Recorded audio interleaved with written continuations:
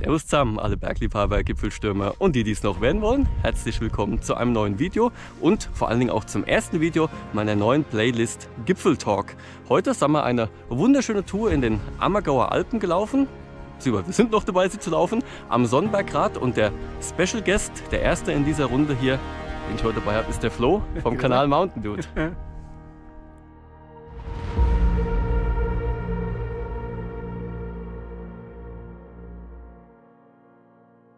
So, also, Bonn, da ist er, der Flo und mein Essen. Ich habe tierisch Hunger jetzt. Und ja, wir sind dann gestartet am Parkplatz von der Kolbensesselbahn und würde ich sagen, gehen wir einfach mal die Tour, oder? Jetzt geht's hoch.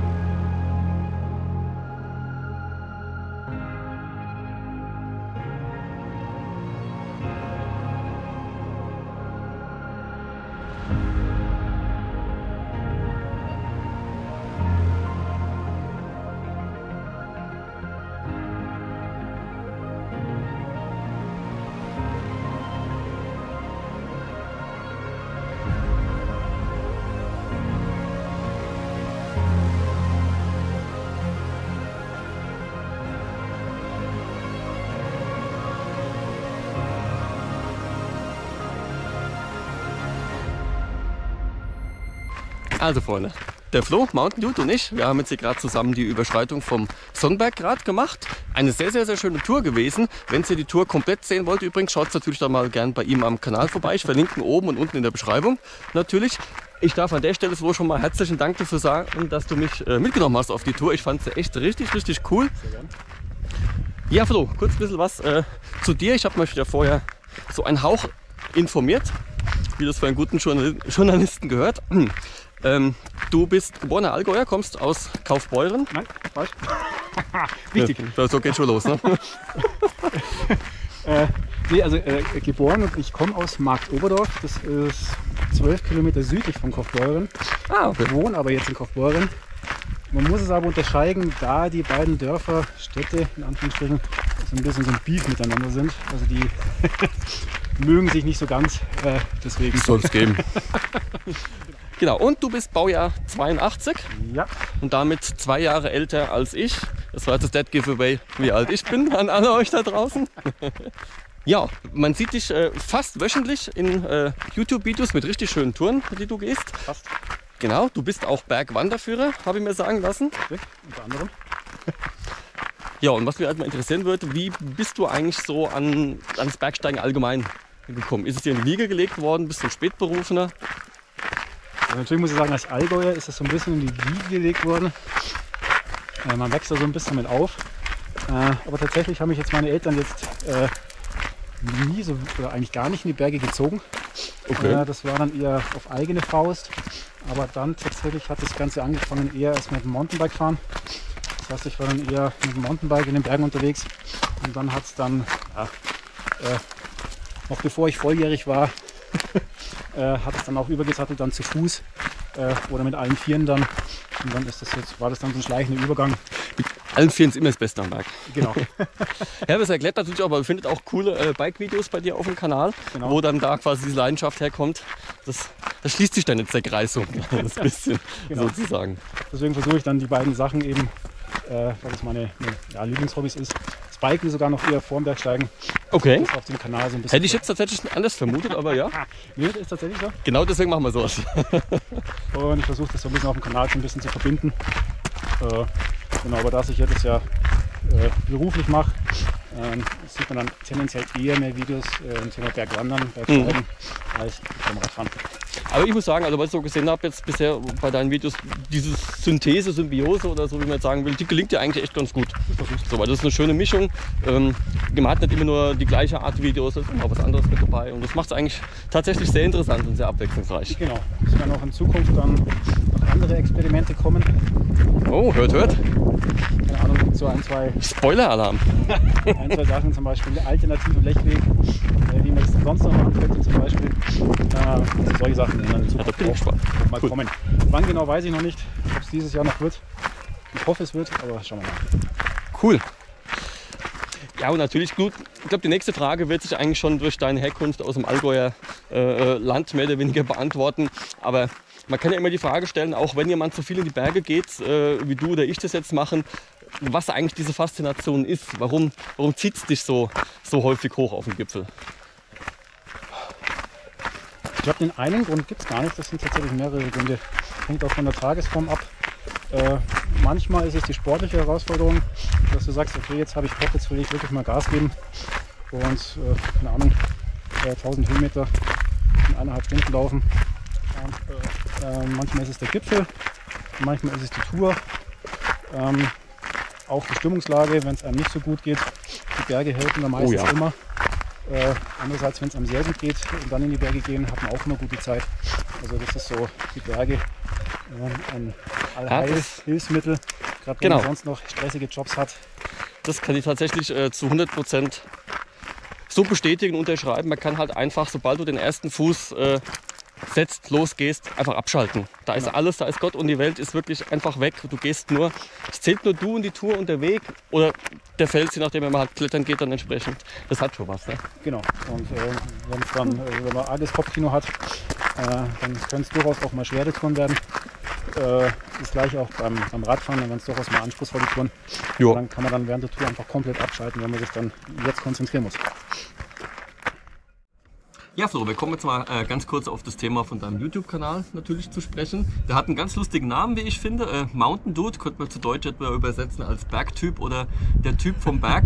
Ähm, ja, der bringt so ein bisschen so ein lässiges Feeling rüber und muss auch sagen, was mir sehr gefällt bei deinen Videos, die Videos an sich sind auch tatsächlich sehr entspannt und lässig zum Anschauen. Und das, obwohl du jetzt nicht unbedingt jetzt nur relativ einfache Touren gehst, da ist auch schon durchaus was dabei, was anspruchsvoll ist auch mal, immer wieder. Aber die Art und Weise, wie, wie, wie du es rüberbringst, passt irgendwie zu diesem, zu diesem Namen. Und da werden wir nachher mal kurz drüber reden, wie du überhaupt auf den Namen gekommen bist. Aber was mich auch interessieren würde, wie du, ich sage jetzt mal generell überhaupt auf das Thema äh, YouTube, Social Media und die Touren zu filmen und online zu stellen gekommen bist. Ähm, mein Social Media, das, wenn man damit aufwächst mit Facebook äh, und so weiter und Gedöns, das äh, ergibt sich dann, dass man da irgendwie so ein bisschen mit aufwächst. Aber das macht man dann so ein bisschen nebenher. Da war jetzt nie irgendwie dann die Idee dahinter, äh, äh, daraus einen Kanal zu machen. Äh, entwickelt hat sich dann, als ich in, der, der erste Gedanke kam, als ich noch in, in Würzburg war, wo ich Physik studiert habe. Das ist cool, ich habe auch mal ein Semester Physik gemacht. so Nummer. Lohnt sich? Das lohnt sich, Physik lohnt sich immer. Ja. Äh, und äh, dann war ich wieder im Allgäu, habe mir dann irgendwann eine günstige Kamera gekauft. Äh, mit der habe ich meine ersten Videos gefilmt. Und ähm, ja, dann ist das so ein bisschen ins Rollen gekommen. Kenne ich irgendwo. Genauso. Ich weiß nicht, ich habe auch immer auf der Couch gesessen und dann die Videos vom Alpineflex war das, glaube ich, damals immer geschaut. Immer so das, dieses Fernweh, da willst du auch mal hin. Und, und auf den Berg willst du noch drauf. Und, ja. ja, du hast ja auch mal für den E5, glaube ich, auch irgendwie so ein bisschen so eine, so eine Serie mal gemacht auf deinem Kanal, so mit Vorbereitungen und sowas auch dafür. Ja, genau. Gesehen. Das ist aber schon ein bisschen länger her, ne? Das, genau, Ja, äh, ja. das äh, war so. Intention von dem Kanal ist auch so ein bisschen den Leuten so ein bisschen das, äh, den Bergsport ein bisschen nahe zu bringen, auch durch den, äh, dadurch, dass ich das so ein bisschen äh, professionell mache. Ja, klar, als Äh, Bergwanderführer, klar. Genau, ver- versuche ich eben auch mit dem Kanal alles abzudenken, also sowohl leichte als auch schwere Touren. Mhm. Und versuche auch den Leuten auch das Wissen zu vermitteln, sei es Schuhe, sei es wie verhalte ich mich Mhm. in den Bergen in gewissen Situationen oder eben, eben wie bereite ich mich auf gewisse Situationen oder Touren vor. Ja. Ja. Da ist halt die E5 ist halt das Beispiel, was jeder kennt. Ja, klar. Finde ich aber tatsächlich gut, dass du das machst, weil wir haben ja vorhin auch so ein bisschen auf der Tour schon über so Themen und sowas geredet, äh, ges- gesprochen. Äh, Thema Naiv Naivit Naivität, das ist ein Scheißwort. Naivität von einigen Leuten am Berg. Und da finde ich es persönlich auch tatsächlich sehr gut, wenn dann so Leute wie du auch da so ein bisschen Aufklärungsarbeit betreiben. Ich will nicht sagen, dass das vielleicht ein Kampf gegen Windmühlen ist, aber wenn man gar nichts macht, Genau. braucht man sich auch nicht wundern, wenn halt äh, Sachen passieren oder Leute, ich sag schon mit unpassender Ausrüstung an Berg gehen. Genau. Aber das ist ein Thema für sich. Da wollen wir jetzt uns nicht reinsteigen. Genau, das da haben wir vorhin du- schon zu Kannst du Genüge getan. Stunden diskutieren. Das haben wir vorhin schon zu Genüge. So, ähm, mal gucken, was ich noch dem Zettel stehen habe. Ich bin ja gut vorbereitet, wie ihr seht. Ja. ich meine, da ich ja selbst auch mittlerweile so, wie so schon als Content Creator bin, habe ich ja so ein bisschen, sage ich mal, Eindruck davon, was das für einen Einfluss auf dein Leben haben kann, was da an Aufwand wirklich hinten dran steht. Deswegen auch die Frage vielleicht an dich. Wie stark oder wie, wie groß ist dieser Einfluss von, von, von dieser Tätigkeit rein, dass du äh, YouTube-Content Creator bist auf dein Leben? Äh, ich versuche den Einfluss so gering tatsächlich wie möglich zu halten. Mhm. Dass es so wenig das, äh, das, das eigentliche Leben äh, beeinflusst oder äh, negativ beeinflusst vor allem. Ähm, ich habe das schon immer gern gemacht, die Touren gefilmt, früher oft mit Kamera und, und, und, und Fotos gemacht. Äh, siehst du selber, ich habe die Kamera in der Hosentasche ja, und ziehe sie also ab und zu raus. Kann ich bestätigen, also auch da wieder total lässig. also ich bin begeistert davon. Also in erster Linie soll es Spaß machen für mich. Ja. Äh, ich mache das in erster Linie für mich, ähm, auch als, äh, ja, als Erinnerung mhm. für, für später. Früher mit Bildern, jetzt mit Videos. Videos machen mir momentan mehr Spaß und gibt mir mehr. Äh, und dann vielleicht auch äh, Anfängern das Wissen zu vermitteln, äh, ja, wie sie sich in den Bergen zu verhalten haben und äh, hoffentlich dann sicher eine Tour bestehen. Äh, und auch eine Tourenplanung sicher so machen können, dass sie sich sicher in den Bergen bewegen können. Ja, ja da finde ich es aber tatsächlich auch ähm, sehr beeindruckend, dass du es fast hinkriegst, wöchentlich Videos auch äh, zu kriegen. Es nicht immer, es gibt immer eine Woche, wo auch kein Video vom Flow kommt. Vollkommen in Ordnung, wenn du sagst, dass es mit diesem möglichst geringen Aufwand, aber so eine gewisse äh, Konstanz ist schon erkennbar. Und mhm. das mit diesem Aufwand finde ich beeindruckend. Das machst du gut. Danke.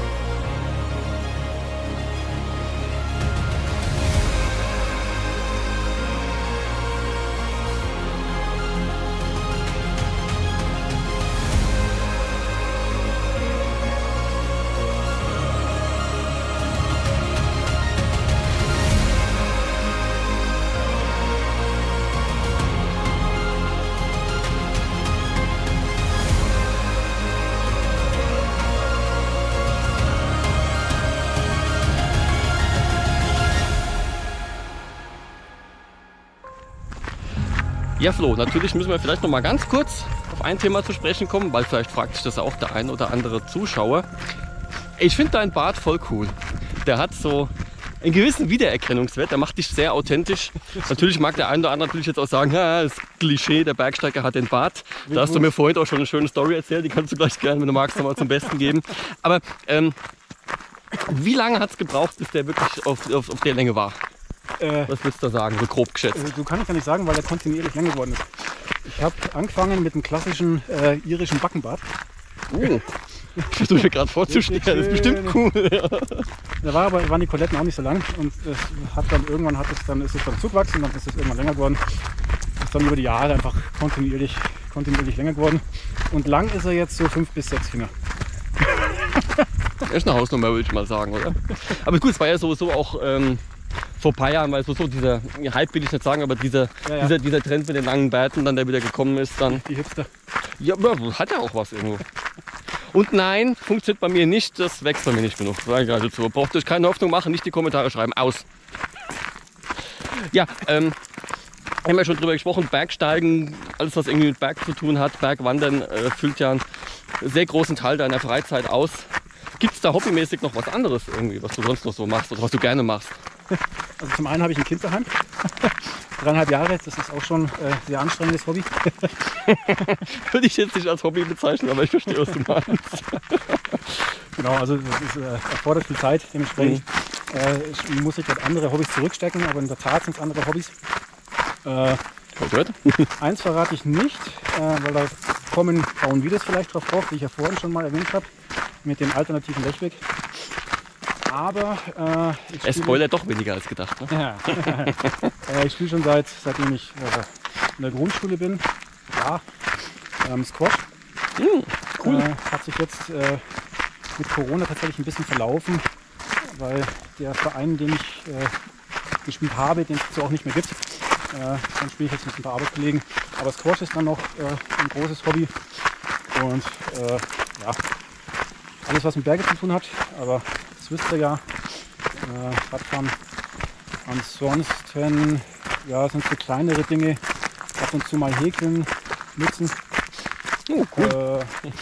Äh, äh, ja, so klassische Musik hören und gedöns. Äh, Didgeridoo spielen, ab und zu mal. Aber Hast du gerade gesagt, klassische Musik? Oh, eine, eine klassische Musik hören. ach so, ah, schade.